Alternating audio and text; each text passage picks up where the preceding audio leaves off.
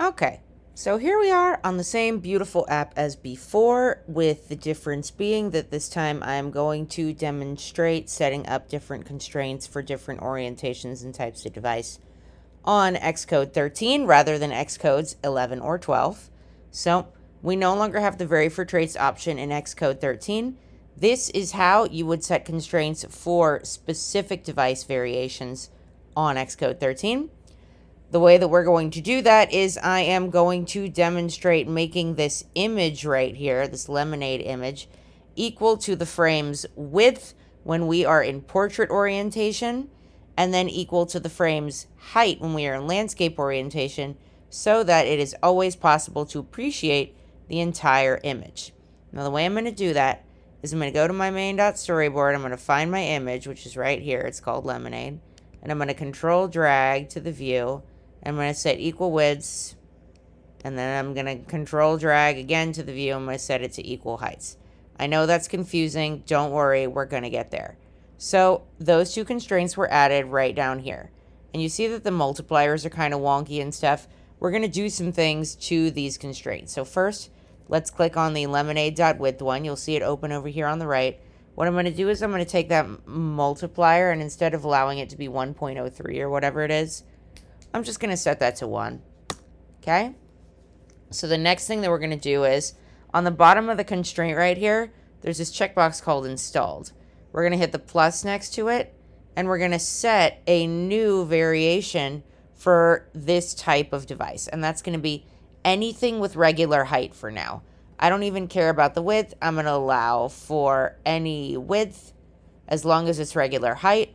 I want to set the width of this image to be equal to the width of the frame. Now, we can do as many of these as we want for whatever combinations of uh, compact and regular width and height we want.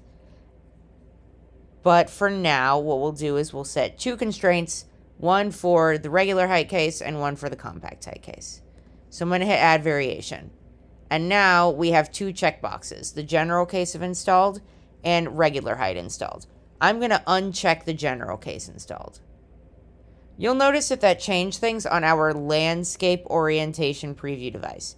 And the reason for that is that this constraint does not apply to the landscape orientation preview device. Why? Because the landscape orientation preview device has a height of compact and we set this constraint for regular heights. So that's okay because the compact heights constraint is coming Let's click on the lemonade height constraint that we made earlier. Once again, I'm going to change this multiplier from what it currently is to 1. And now I'm going to make a new trait specifically for that. So I'm going to hit the plus button again. This time I'm going to allow any width, but I want specifically compact height. Now the reason to use any width is that you'll recall one of the older iPhone devices in landscape mode has compact width, and all of the newer devices have regular width in landscape mode. We want this to work for all of those devices, but the important part to us is that the height is compact. So I'm going to add the variation here. Once again, I'm going to uncheck installed right there. Now you'll notice that this time the images on our regular height devices appear to be fine and haven't disappeared or changed shape or anything like that. The reason for that is that we already have their constraint in place which we did before this one. So I'm going to hit enter. And so now you're going to notice that my storyboard is in portrait orientation.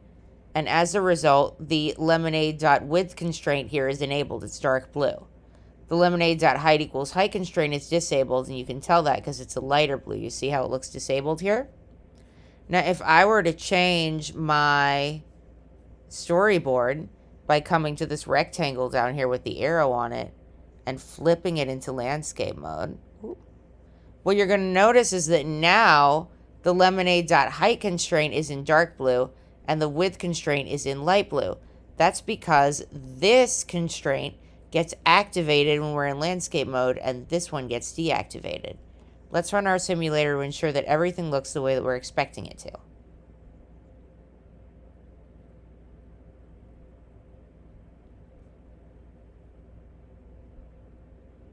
All right, so here we are in portrait mode. and we're able to see the entire height of the image.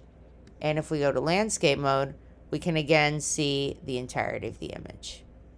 Perfect.